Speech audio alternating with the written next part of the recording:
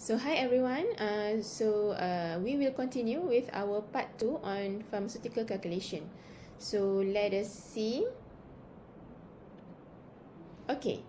Um, in this second part, uh, we will explore a different type of calculation. Um, uh, as I will explain after this. Um, and uh, uh, before we begin, I would like to emphasize or re-emphasize on the CLO or, co uh, or course learning outcome. Um, number two, which is uh, for you to calculate correctly the pharmaceutical preparation formulation according to the outline formula. So this is the course learning outcome. It means that uh, for FAR 122, this is what is uh, expected of you. You should be able to calculate correctly the pharmaceutical preparation formulation according to a given or an outline formula. Okay, so what will we learn today? Uh, in this uh, uh, second part of pharmaceutical calculation, we will uh, discuss on the ratio calculation or proportional calculation, part per million uh, and part per billion, alligation method and also density calculation.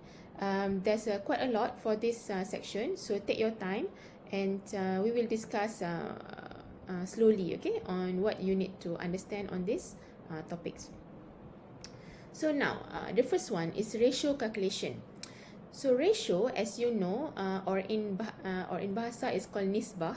So um, is usually expressed to simplified writing, okay, but it should be easily understood.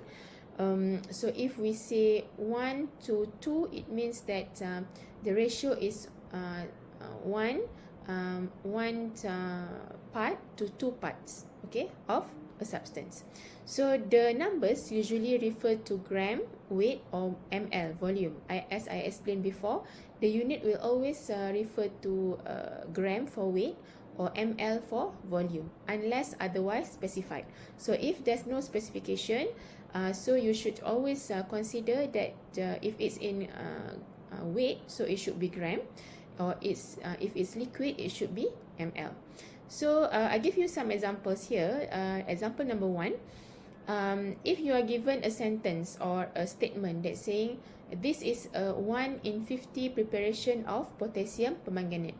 So it means that uh, the product contains 1 gram of potassium permanganate in 50 ml of solution or water as the carrier. So if you have uh, 100 ml of preparation, it means that uh, there's uh, 2 gram of uh, potassium permanganate in the 100 ml. Uh, as uh, in example number 2, uh, if uh, the statement say that this is a 100 ml product of 1 in 50 potassium permanganate, it means that in this 100 ml, there should be 2 gram of potassium permanganate.